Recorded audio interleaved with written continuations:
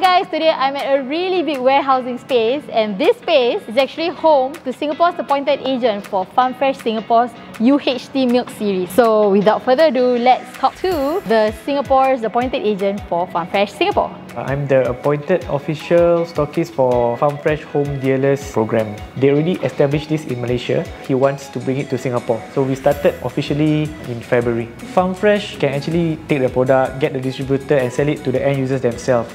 Tapi kenapa why they don't they do not want is pasal orang nak membantu masyarakat kongsi rezeki. That's why I do not sell directly to shops and I do not sell directly to end users. If there are queries from I will just ask for their location and I will direct them to all the available dealers or agents that is available island-wide. Okay, so let's say you're a housewife and you don't have the capability to work full time, you need to take care of the kids, right? But you still feel that you want to contribute to the finance of the family. You want to start a business tapi you tak ada uh, much capital and you tak ada product. That's what we are here for lah come and join our team and sell Farm Fresh UHT milk.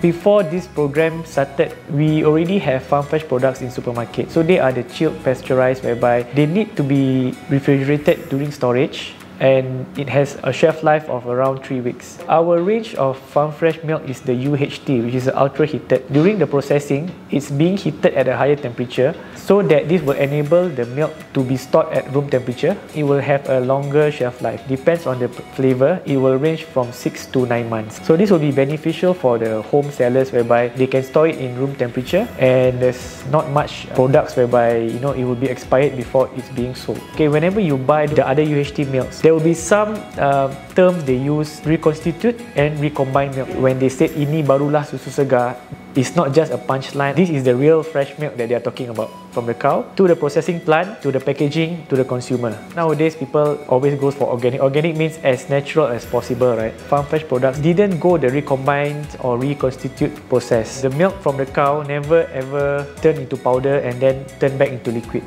So that is one of the big difference that uh, Farm Fresh offer. Di Malaysia kita ada ladang tenusu, ada empat ladang tenusu. Farm Fresh juga ada ladang di Australia lebih besar daripada ladang kita di Malaysia. Ladang di sana adalah kita panggil ladang pembenihan kita. So all the good breed daripada ladang kita di sana kita bawa ke Malaysia. Ni yang background belakang tu itu adalah uh, kandang lembu kita. Lembu-lembu tropika the only farm fresh saja yang ada. That is our secret. Semua kita punya variant-variant kita ni kita gunakan susu segar as the base supaya orang masih ada hasiat dan dia punya rasa susu tu masih ada lagi. Currently, right, we have the fresh milk, the chocolate milk, susu kurma, and three flavors of yogurt: the mixed berry, mango, strawberry. And then we have the cafe latte. This is the standard seven. So recently, Farm Fresh has put in uh, new flavors: the cafe latte, tongkat ali. The normal cafe latte has a sweetener, which is the sugar. So instead of using sugar, they use uh, kurma extract for the cafe latte tongkat ali. And of course, the, the other ingredient that they added in was the tongkat ali extract itself. Lah.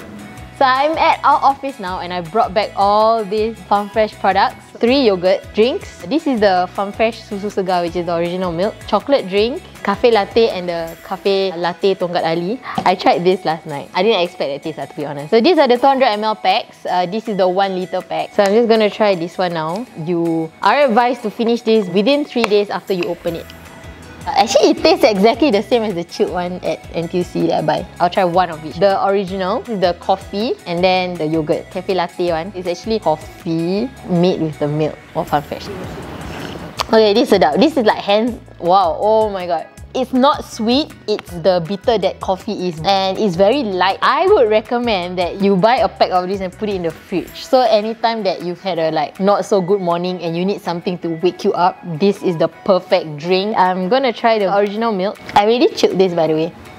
It definitely tastes a lot lighter lah than the regular milk I'm so used to. Let's try this, the strawberry. I hope this reminds me of the European milk that I used to take Eh, this is sedap eh. I'm gonna ask Muaz to try. When I think yogurt, I think clumpy coagulated product. But no, this is like milk. It's very light and it also has the yogurt masam-masam taste, you know. Immediately after I taste, right, what I think is I'm gonna get 12 put of this. One carton is at 12 box. I'm gonna get 12 packs of this for Muaz. This proves to be a really lucrative business. Huh? So if you're interested to get this uh, UHT Farm Fresh product, you can just contact the main stockist in Singapore and they will link you to the nearest uh, home dealer near you. And if you're keen on being a home dealer for Farm Fresh, you can also do so by contacting Stockist Farm Fresh. I'm going to leave their contact at the end of this video. Okay, that's all I have. I really, really, really love this experience with Farm Fresh and I like their products. So yeah, go try it for yourself. So if you like this video, remember to subscribe to my YouTube channel and download the Halafan app because Halafan app also shares